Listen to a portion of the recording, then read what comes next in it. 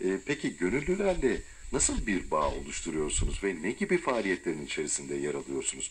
Böyle baktığımız zaman aslında kamuoyunda hep hayata dokunan, e, böyle insana dokunan faaliyetler. E, yine maalesef üzücü bir.